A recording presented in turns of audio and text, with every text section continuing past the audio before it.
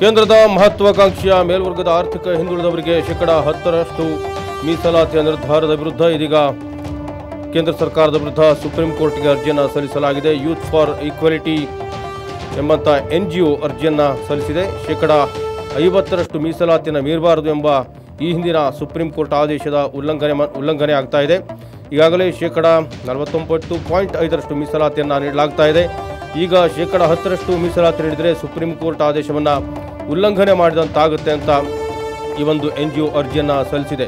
ಮೇಲ್ಮದ, ಮೇಲ್ವರ್ಗದವರಿಗೆ ಮೀಸಲಾತಿ ನೀಡುವ ಬಗ್ಗೆ ಕೇಂದ್ರ ಸರ್ಕಾರ ಈ ಹಿಂದೆಯೇ, ಅಂದರೆ ಮೊನ್ಮೊನ್ನೆ ಅಷ್ಟೇ ಲೋಕಸಭೆ ಮತ್ತು ರಾಜ್ಯಸಭೆ ಎರಡರಲ್ಲೂ ವಿಧೇಯಕವನ್ನು ಮಂಡಿಸಿ ಅಂಗೀಕಾರ ಪಡೆಯಲಾಗಿತ್ತು.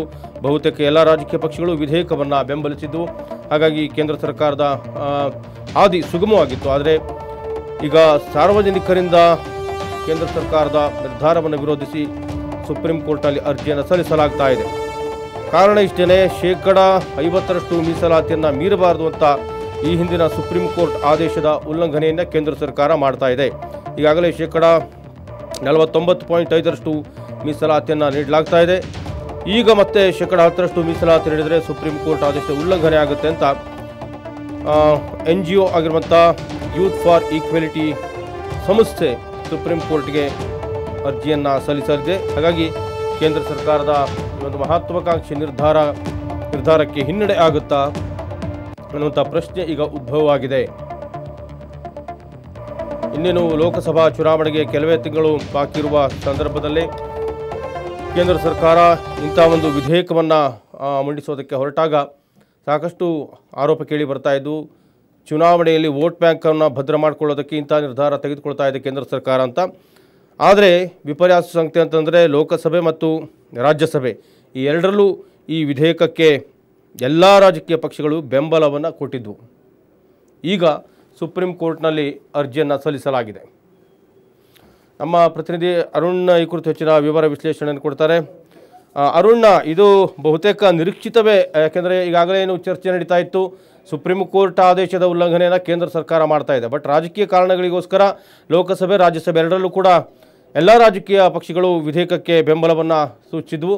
ಇದೀಗ ಏನು ಸುಪ್ರೀಂ ಕೋರ್ಟ್ನಲ್ಲಿ ಅರ್ಜಿ ಸಲ್ಲಿಕೆ ಆಗಿರೋದ್ರಿಂದ ಮುಂದೆ ಯಾವ ರೀತಿ ಬೆಳವಣಿಗೆಗಳಾಗ್ಬೋದು, ಕೇಂದ್ರ ಸರ್ಕಾರಕ್ಕೆ ಏನಾದರೂ ಹಿನ್ನಡೆ ಉಂಟಾಗ್ಬೋದಾ, ಹೇಗೆ ಅಂತ.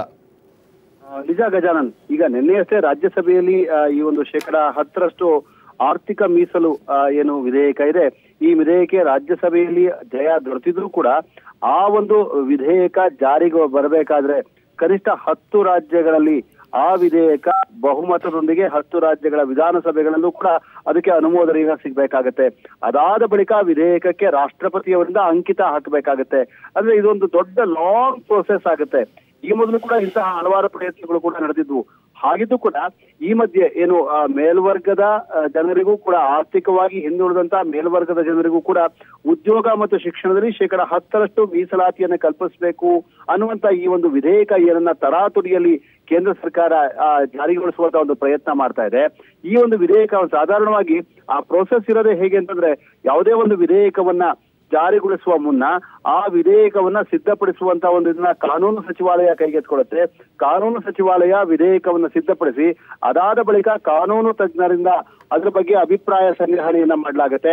ನಂತರ ಆ ಒಂದು ವಿಧೇಯಕವನ್ನ ಸಚಿವ ಸಂಪುಟ ಸಭೆಯಲ್ಲಿ ಚರ್ಚಿಸಲಾಗುತ್ತೆ.